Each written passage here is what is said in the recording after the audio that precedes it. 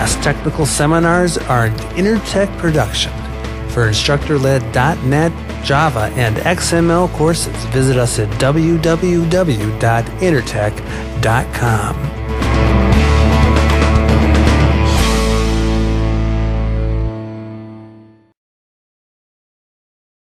Uh, my name is Davin Mickelson, uh, or as the bill collectors say, David Michelson when they call. No, uh, actually, I teach Microsoft technologies here at Intertech. That includes uh, beginning programming, .NET-based stuff such as C Sharp and VB, ASP.NET, MVC. I also teach the SQL technologies as well, SQL Server, SQL Server 2005 and 2008. So one word I'd use to describe Davin is enthusiastic. Some words I would use to describe Davin would be very compassionate. He is caring. Nobody gives more in the classroom than Devin. Always concerned about students. I've seen him here till 6 o'clock in the evening worrying about uh, students and helping them out with labs. Uh, my background, I've been teaching since 2002 it was. I started teaching .NET. Back when it was in beta, I actually taught Andrew's stuff back at the University of Minnesota. I actually created the curriculum there and did a little bit of training for them. And after that, I just loved teaching so much. Before that, I was a consultant, of course, working with the Microsoft technologies. People here will tell you I do have a love affair with Microsoft, and I drank the Kool Aid, so I apologize up front for that. Something that you don't know about Davin is that he is a longtime guitar player. Uh, Davin loves dogs, and given his personality, and as you see him in the classroom, uh, what more could you expect? A guy who is loving and caring about everything that lives, including uh, his puppies. Something you might not know about Davin is he has a huge pickup truck with wolves on it, and his license plate says Wolfish. Hi, uh, my name is Davin Mickelson. I'm with Intertech Training. And for this presentation, I'm going to talk about developing ASP.NET AJAX custom controls. Um, specifically, I'm going to talk about how I can go ahead and create those controls using, of course, the AJAX library, ASP.NET, JavaScript. There's a lot that's actually involved in creating custom ASP.NET AJAX controls. I gave this presentation at Microsoft in December, and I also gave it virtually that same day. And uh, it was interesting to talk to other people to see how much they were using um, the AJAX framework, how they're using the AJAX control toolkit, how they're using custom JavaScript programming. And I didn't get much feedback as to how many people are creating custom controls, and I think that's due to the complexity of them. However, we you and I, as ASP.NET developers, are going to have to get more skilled at creating these custom controls, and that is also going to require us to have a lot of different skills, specifically with working with JavaScript, .NET Framework, and things of that nature. Okay, a little bit about myself. I'm a certified trainer, and I've been working with Intertech for almost five years now. Before that, I worked at another training facility. Notice that I got the MCSD, MCPD, I got a, a, bunch of certifications, kind of a junkie on this measure here. And I do have my email address up there as well, davin at intertech.com. I wanted to keep it simple, you know, just in case anybody ever wants to contact me. I do love to hear from students, find out what they're working on, and any questions they have about Microsoft technology specifically. I have my own website. My brother and I actually run this site. It's called mndeveloper.com, MN for Minnesota, obviously. And I've got a blog there as well, although the blog will be moving over to Intertech's website. So I'll just keep my personal blog there, and I'll have my Intertech blog.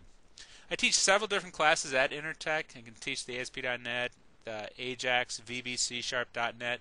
I also cover some UML with object-oriented analysis and design. Beginning programming is always a blast and some SQL Server courses as well. I love working with Microsoft technologies, as my brother says, I drank the Kool-Aid. So, anyways, it's a lot of cool technologies I teach, and I hope you guys get something out of this little presentation. Uh, background, I have been developing professionally since 1994. I've had more experience developing software as as a programmer than as an instructor. Um, I've developed web apps since 1998 using many different technologies Perl, ColdFusion, PHP, and of course classic ASP script and uh, of course ASP.NET. ASP.NET right now is actually going through some changes. You know, with the we've gotten used to programming web forms since 2002 with the release of Visual Studio 2002.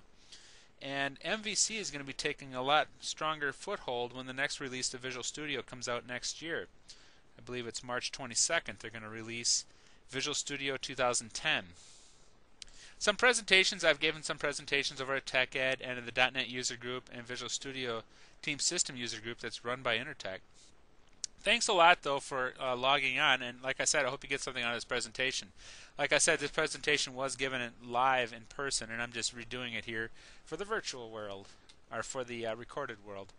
Slides will be available at this web address. You can download the PDF right now, actually, and that'll be for this presentation right here. And of course, we're making the recorded presentation. That's what you're listening to right now. The agenda. Well, here's what we're going to cover. First things first, just for everybody's benefit, I'm going to talk about how the ASP.NET AJAX framework works, how this framework uh, works and for creating specialized web applications that have client-side technology and server-side technology. I'm also going to talk about the AJAX Control Toolkit, which are some awesome controls which can add AJAX functionality to our sites.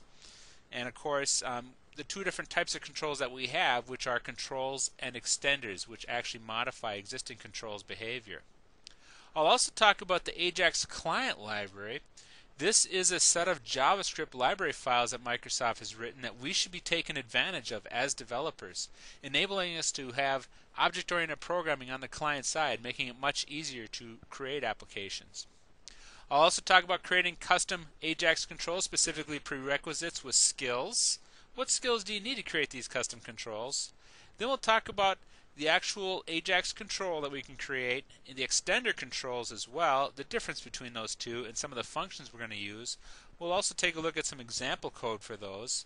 And I don't have no problem at all. Let's just take a look at Visual Studio 2010. Now, at the time that you're uh, creating this presentation, Visual Studio 2010 is in beta 2, and that's what I currently have installed on my machine. And I'll talk about how Ajax, MVC, and some other things like jQuery, for example, are part of .NET 4.0 that's going to be released in March. Finally, I'll talk about the custom controls, my last thoughts of what it is about creating these custom controls, and some you know basic opinion. You take it or leave it. Now, first things first, Ajax programming makes ASP.NET programming easier, specifically with the JavaScript. It speeds up the performance of our applications. Uh, for example, you can make a request of a server and update a small portion of a page instead of constantly posting the entire page and all the controls to the server, having all the events be raised on Havel on the server side, recreating all the controls with their current state, and sending it all back to the client. That's why we like to use Ajax programming. Now with ASP.NET Ajax, that of course will write all the necessary JavaScript for us automatically. We don't instead have to use that XML HTTP request object that normal Ajax programmers must use. For example, one of the upcoming classes we do have in Intertech is going to be called Complete Ajax, and in that course we spend a fair amount of time talking about how to program the XML HTTP request object. Admittedly, if you want the most control for doing Ajax programming, you should stick with that object. That just makes the most sense. However, take advantage of some of this uh, Ajax controls that are part of the framework. This can actually save you a lot of JavaScript programming. For more free learning resources and to see the latest lineup of our instructor-led .NET, Java, and XML courses, visit us at www.intertech.com.